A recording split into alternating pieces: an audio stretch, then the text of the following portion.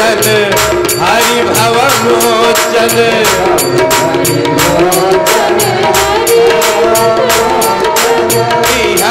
लाभ शंकर जाना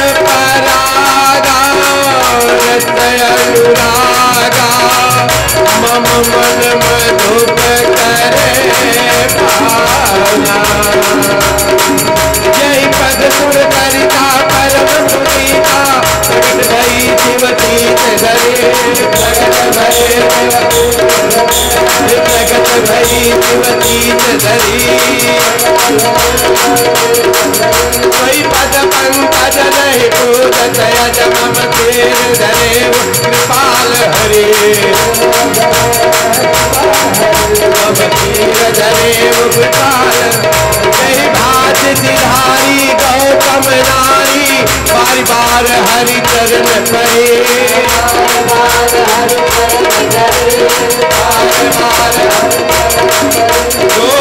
मन भावा सो बड़े पावा मैं भरे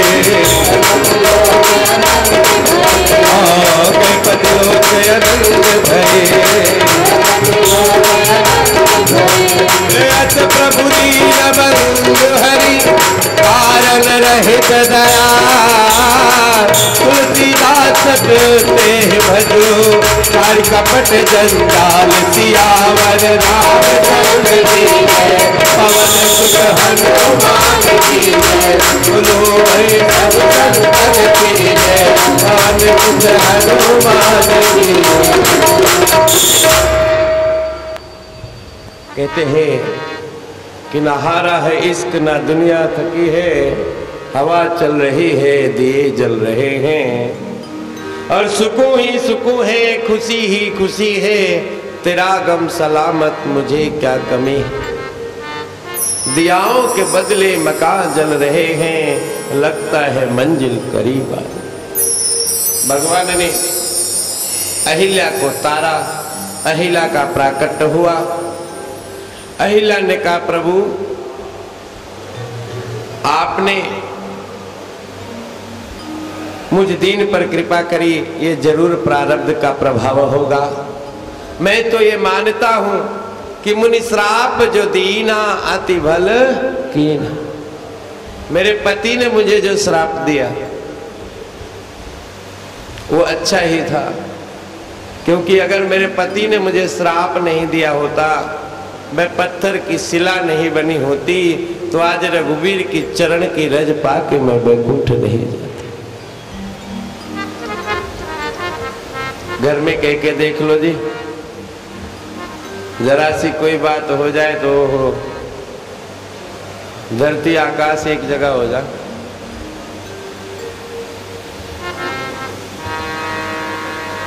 अब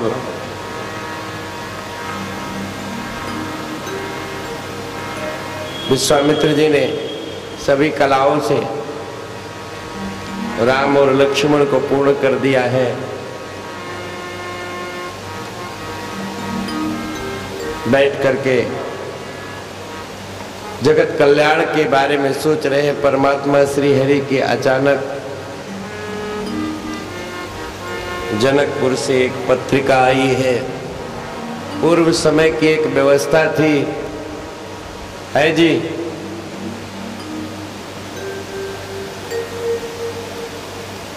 कि कोई भी शुभ कार्य अगर करना है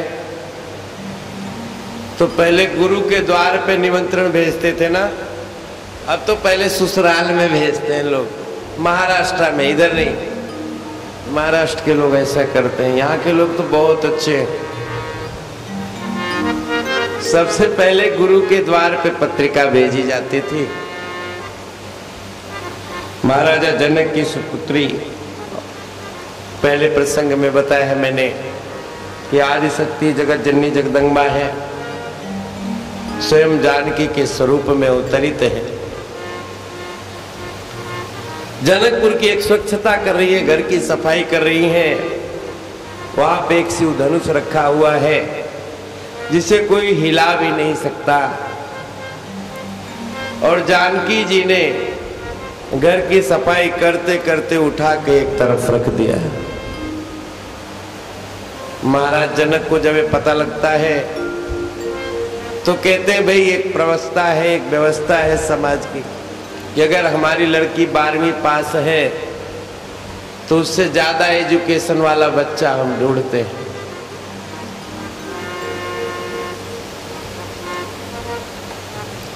क्योंकि फिर बात बिगड़ जाएगी ना।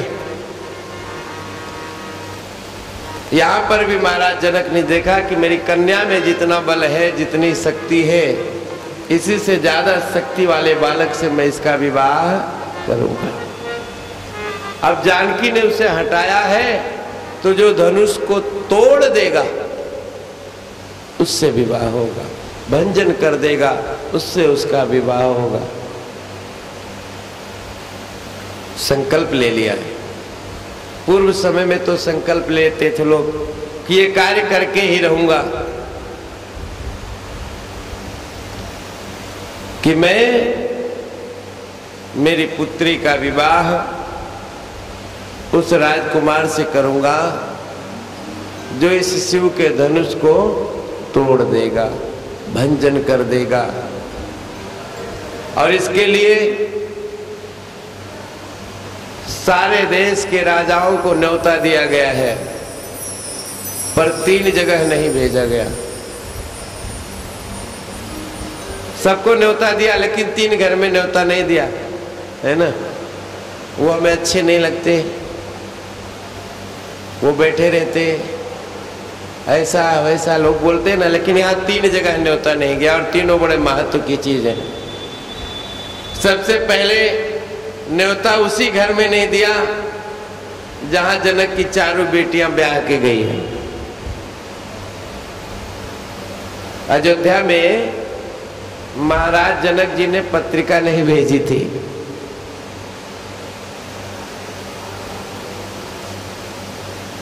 ना रावण को भेजा था। क्यों तिवारी बाबा? ऐसे ही कुछ है। ना बाणासुर को भेजा था। लेकिन यही देख लीजिए कि जिसके घर में पत्रिका ही नहीं भेजी लोगों ने ऐसा तिरस्कृत किया, उसी के घर में ब्याह के चारों लक्ष्मी बन के आ गई है। गुरु की कृपा होती है महाराज।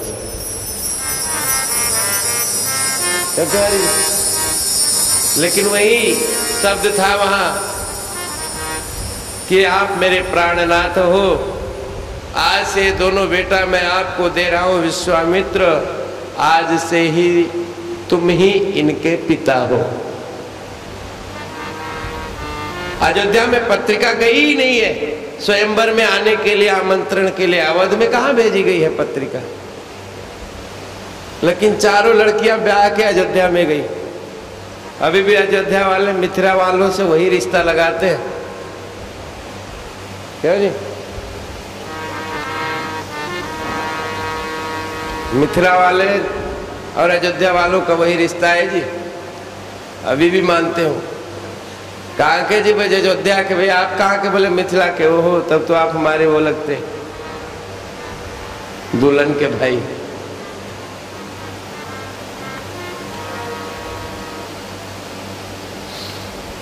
पत्रिका आई है भगवान राम को और लक्ष्मण को लेके महाराज जनक के यहाँ चले हैं विश्वामित्र। अब किसी के साथ, बाबा के साथ अगर बेटा बेटी नज़र आ जाए तो दुनिया बहुत सवाल उठाती है। लोगों को ऐसा लगता है कि प्रश्न एक जगह उठता है। जनकपुर में जैसे ही विश्वामित्र जी ने कदम रखा है, प्रश्नों का सिलसिला चालू हो जाता है। महाराज, ये कौन है? ये आपके पास जो दोनों बालक हैं, किसके हैं? इतने छोटे छोटे बच्चों को कोई माँ बाप अपने से दूर कर नहीं सकता। और अगर ये आपके पास है तो ये कौन है? दाल काली है या दाल में काला है? आप बताओ, प्रमाण दो। पूछा है ना महाराज? मैं नहीं बोल रहा हूँ, तिवारी बाबा गोस्वामी जी बोल रहे हैं। और उन्होंने प्रमाणित किया है, पंक्ति याद करो आप। कि ये दो दशरथ के ढोटा। बाल मरालनी के कल जो विश्वामित्र ने कहा कि ये दोनों दशरथ के पुत्र हैं। बाल मरालन के कलजोटा जिन्होंने बचपन में ही ताड़का जैसी राक्षसी को मार दिया। जिन्होंने बचपन में ही मारीच को बिना फन के बाण से ही, अब भगवान फर भी लगा सकते थे ना? यहाँ ध्यान देना। फन मतलब वो नुकीला भाग। बाण के ऊपर जो नुकीला भाग होता है, उसको फन कहते हैं। भगवान फन लगा के भी मारीच को मार सकते थे। लेकिन फन क्यों नहीं लगाया था? क्योंकि पहली बार दंड नहीं देना चाहिए, मृत्यु दंड नहीं देना चाहिए किसी को। थोड़ा सा दंड दो उसको, फिर और थोड़ा सा दो। फिर नहीं माने तो सिर के बाद तब वो फन लगाना चाहिए। भगवान को मारना ही था तो फन लगाकर मार देते, एक ही बार हर हर महादेव हो जाता। पर बिना फण का बाण मारा है, क्योंकि जो व्यक्ति गलत करे, उसे सीधे मृत्यु दंड नहीं देना चाहिए। सौ योजन दूर भेज दिया था ना। कितनी दूर? सौ योजन दूर। तेरी सीमा खत्म हो गई, अब वहाँ रहेगा तू।